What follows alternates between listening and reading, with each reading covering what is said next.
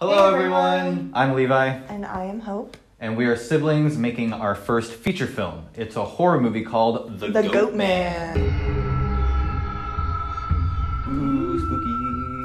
So, The Goat Man is an urban legend that we first read about about 10 years ago. And I loved the monster idea so much. We had sort of thought about bringing this to the big screen for a very long time. But we finally sat down to write the narrative around this urban legend, and we actually fell in love with the story we came up with. We're finally setting out to shoot it, and it shoots in February. So, we're launching the Indiegogo campaign as a way to help pay for all the expenses that has come up since we started production. We love horror movies so much, and we were so excited by the idea of the Goat Man and what he can do.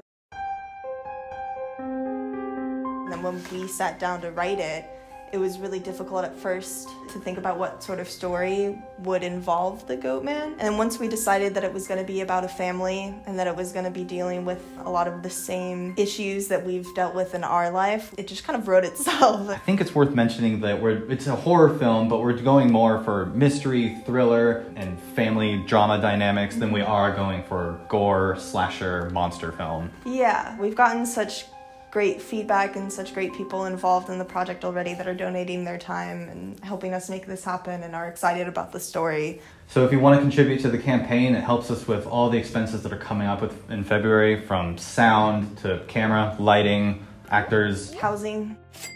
We'll have an expenses list on our Indiegogo campaign, but if you want to help support us in any way, you can do that there. And we are just so super appreciative of every penny and every second that someone has spent helping us with this project and making it happen. It's a total dream come true for us to finally be making a feature. I mean, we've been making movies since before I can remember. And the star of the film, who's our friend Garrett Palladian, we grew up making movies together. So it's really fun that now we're all actually bringing our professional crafts together. I heard something. Garrett! Garrett! What did I say?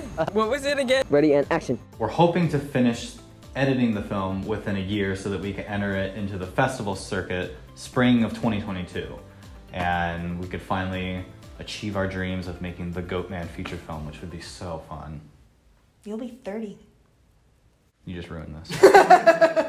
and Clay, and he is right there behind camera. He's executive producing it with us. Yeah, so check it out at thegoatmanmovie.com. And what's the Instagram? The Goatman Movie at the Goatman Movie on Twitter, Instagram, and Facebook. Official checkmark. I'm kidding. Thanks, everyone. Thank you.